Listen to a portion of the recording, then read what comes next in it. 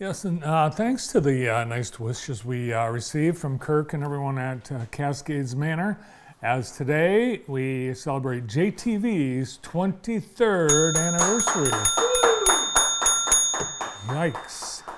23 years today, and uh, I hope you can stick around. We'll, uh, we'll be looking back on some of the things that have happened over these past 23 years. Right now, 62 degrees, about 5 degrees above normal for midday, mid October, and uh, light rain. We expect rain to uh, pick up overnight tonight, and uh, our overnight low 58, so we won't be seeing much temperature fluctuation between now and well tomorrow morning. Uh, things will warm up on Wednesday, I mean Thursday, with a high of 72, but a little bit of rain, but mostly in the morning. Friday, a chance of showers in the afternoon, high 74, and then the cool down for the weekend. Partly sunny, 55 Saturday, almost normal, and showers on Sunday, high 46.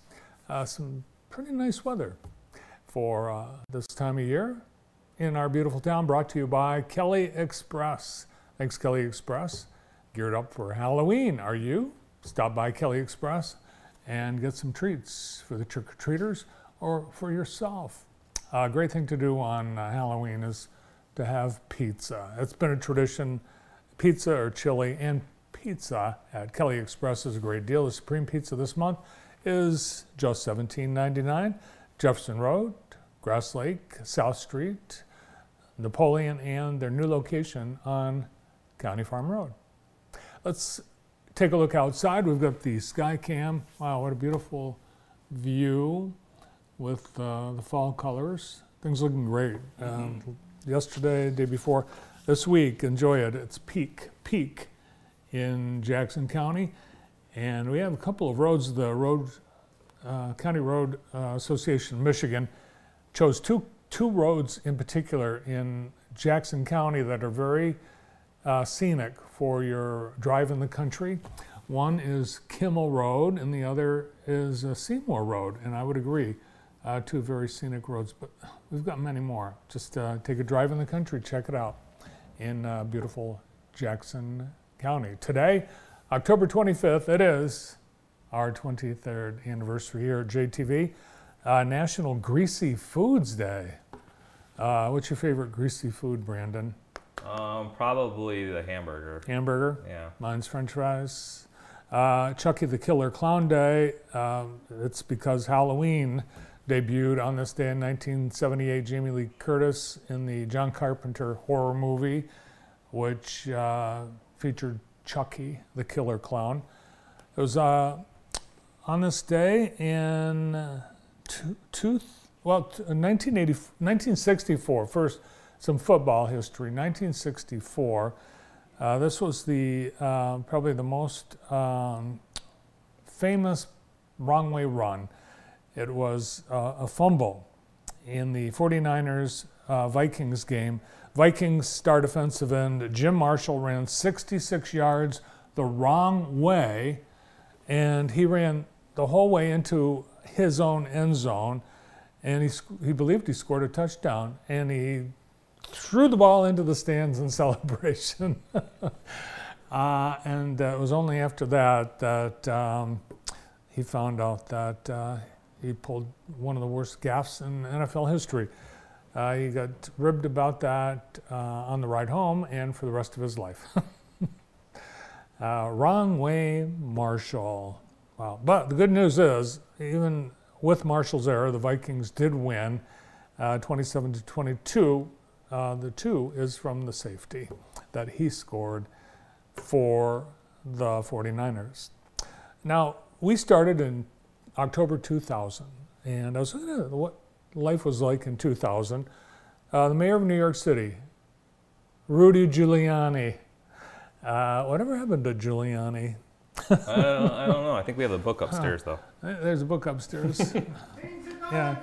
We do have the, we found a book by Rudy Giuliani. About leadership. Leadership. leadership. Uh, I don't know. Did he, has he turned? Did he uh, make a plea? Uh, let's see. Also in 2000, Bob Barker hinted that he might retire from The Price is Right. This was 23 years ago.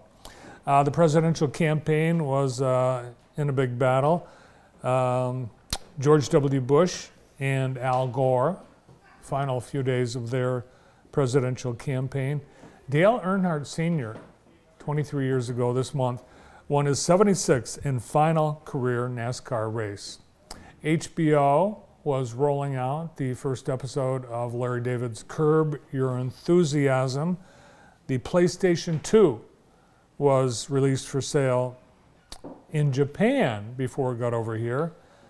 Uh, America Online and Time Warner combined, whatever happened, you've got mail.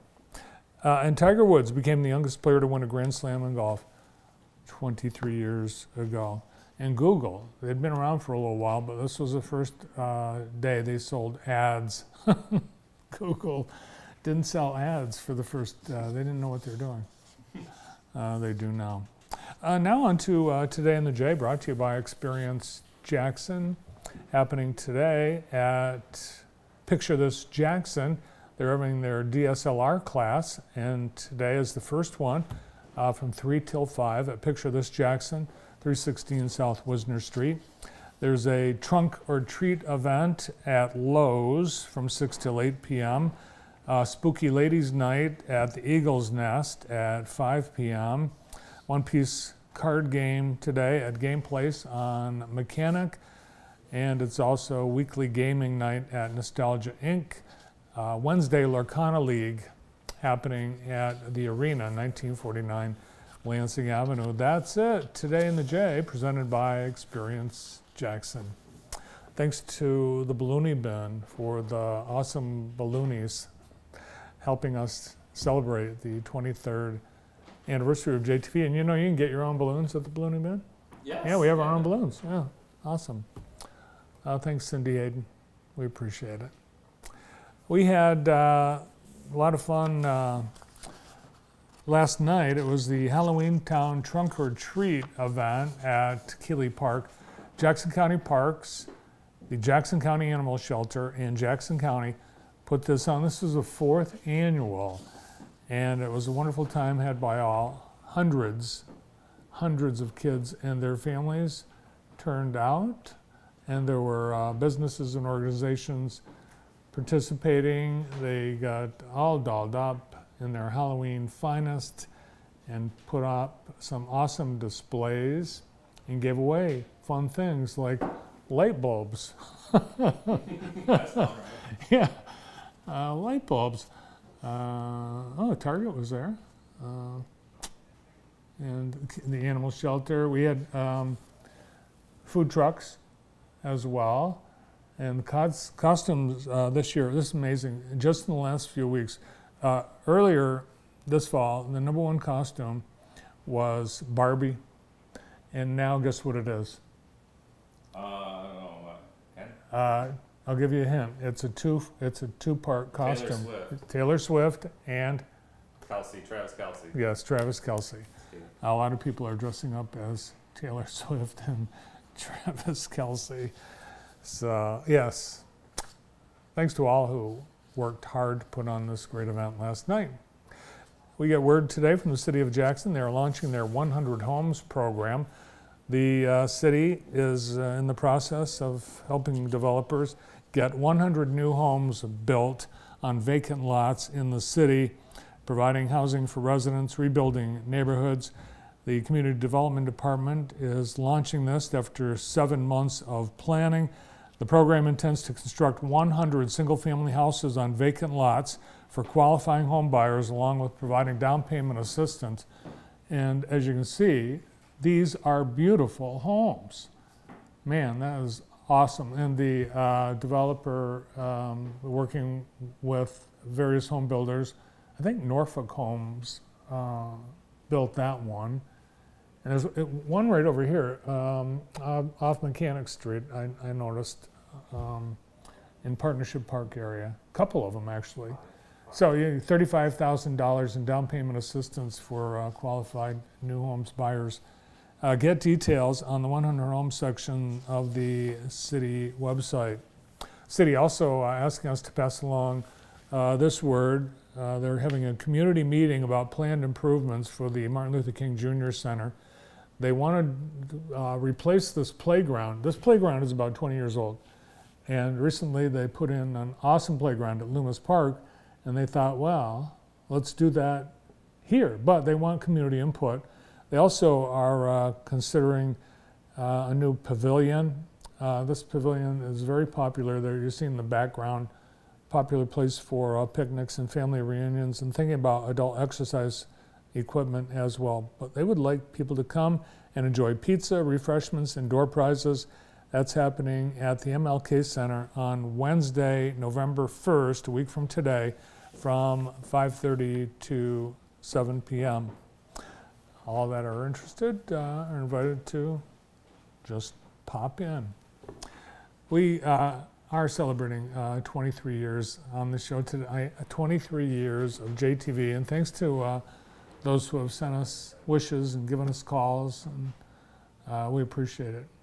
Uh, and thanks so much. The ability to make it 23 years, starting from scratch, is the community. The community has been there with us every step of the way as viewers, as advertisers, as employees, as, as, as friends, and we greatly appreciate all who have contributed to our longevity and to our success. Thanks so much. I mentioned earlier we've had, uh, between the morning show and this show, we have had 38,617 guests. Amazing. Uh, we'll be having a lot more over the next uh, couple of weeks. By the way, we're less than two weeks away from the election, so we're going to have uh, city candidates for city council and mayor uh, coming to join us in the next uh, couple of weeks. Well, in addition to the 38,617 guests we've already had, we've uh, got four more. Shamar Heron just with us had to uh, head to a meeting, but next up, Jeff Beintrager from Northwest Community Schools.